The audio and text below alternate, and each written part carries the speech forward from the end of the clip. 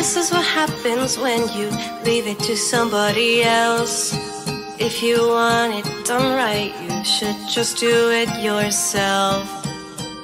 You oversaturate your world with nothing but machines. You might make everyone happy, but you're dead inside just like me.